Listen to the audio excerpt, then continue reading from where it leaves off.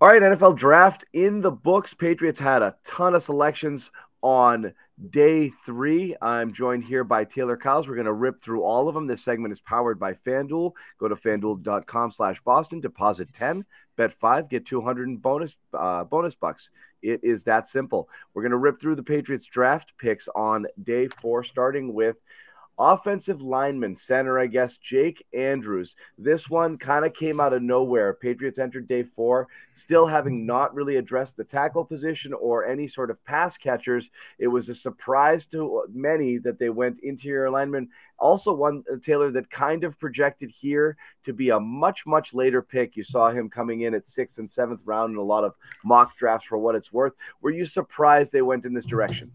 Absolutely. I thought they were going to go offensive line. I didn't think they were going to go with a center just because of positional value. You don't necessarily expect a team to take a center at the beginning of the fourth round. Now, it does make more sense if it was kind of a panic pick and they were running out of time and they were like, all right, who's somebody on our board that we like? We got three other fourth round picks. You know, we'll make it work. Um, but Andrews himself, he's not a super athletic guy. He's got short arms. So that's why he was projected to go so late. Just there's not a lot about him physically that's super impressive. Now that said, he is very, he's got really strong hands, and once he latches on to guys, he doesn't really let go. He's good on double teams. He's a team first player. He used to play right guard, was asked to play center, and was excited about the transition actually, and was like, "Hey, this is probably where I'm going to play in the in the pros." So you know, this gives me a head start on my professional career. So obviously, he seems like a smart guy, um, which is what you need at the center position. Really, if you're smart and he's got a wrestling background, which is also huge because that's a big mono e mono kind of job. And it's all about leverage, hand placement, things like that. Generally, offensive line is that same responsibility, but at the center position, you know, you're helping guys out, and that leverage is really important. Also, Andrews isn't the tallest guy, so he's got a lot of natural leverage. It helps him generate power.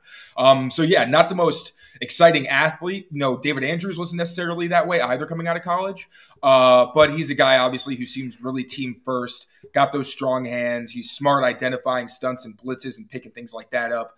Uh, so you know, I don't love the value necessarily, but you know that's how the draft is. Sometimes teams end up taking guys that you think are a reach. And, you know, as we know with the Patriots, they usually get out of the draft with a couple steals at least, um, as we saw as the draft went on. So, you know, again, not the best value for a center, but it, if it was a choice they had to make kind of quickly, it makes more sense. And again, understandable here. Uh, you know, and there were reports they were trying to trade out, kind of held on to the card till the very end. Ended up taking somebody who uh, they uh, certainly must have liked, and again, one of the many players I believe who uh, did top thirty visits with New England. In fact, uh, many of the players they did draft did uh, you know did come in here, so they have a chance to meet with them. and David Andrews, who we know, you know, has put nine years in the league, entering his tenth season uh, you know, 30 years old. He's been a rock here for the Patriots, but you wonder how much longer that's going to continue. Uh, is this a person who has potential, Taylor, to start or to fill or to kind of take over the, you know, the passing of the torch from Andrews to Andrews uh, if and when uh, David Andrews is done?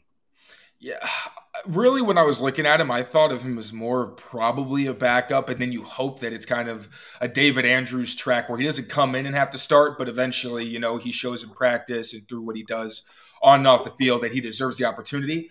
Uh, physically, again, like I said, he's not the best athlete, so I would like to maybe like I mentioned on one of our uh, live shows, I'd love to see Cole Strange slide in at center at some point whenever Andrews calls it quits, and then they just get a guard because Cole Strange would be like he was projected also as someone who could be an outstanding center. Um, uh, yeah, so it, the fact that they got Andrews when they already have Kody Russey, who I liked actually last preseason and coming out of school. Um, if you're going to double up on centers, that's usually a pretty telling sign because Andrews isn't somebody who has a lot of versatility because of his athletic deficiencies. Um, so we'll see. I, I think this is maybe going to be a better projection once we really get to see him and how he handles himself with NFL competition. But I think it's good that at this point in his career, he's just a backup. Okay, so that's it.